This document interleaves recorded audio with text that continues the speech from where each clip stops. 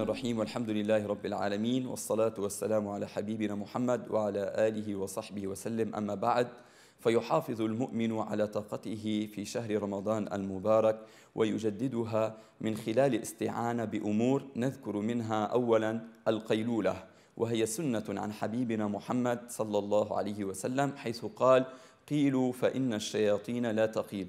والقيلولة أن يأخذ الإنسان قسطا من الراحة أن ينام خلال اليوم نهار رمضان وخاصة قبل صلاة الظهر فيستعين بها لكي يجدد القوة والعزيمة ولكي يصوم هذا الشهر المبارك ولكي يستطيع أيضا أن يقوم الليل وأن يقوم على السحر.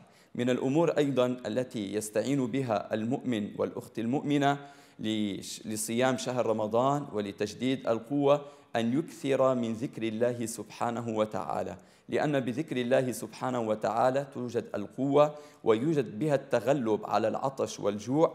ودليل ذلك أن نبينا محمدا صلى الله عليه وسلم أخبرنا في آخر الزمان عندما ينزل سيدنا عيسى عليه السلام إلى الأرض ويخرج يأجوج ومأجوج ويفسدون في الأرض. ولا يصبح يوجد لا طعام ولا شراب فيصبح الطعام والشراب لسيدنا عيسى ومن معه من المؤمنين التسبيح والتحميد والتهليل والتكبير. فلذلك الآن المؤمن عندما يصوم ليجدد هذه القوة ويتغلب على العطش وعلى الجوع يذكر الله سبحانه وتعالى ويقول سبحان الله والحمد لله ولا إله إلا الله والله أكبر. وصلى الله على سيدنا محمد وعلى آله وصحبه وسلم.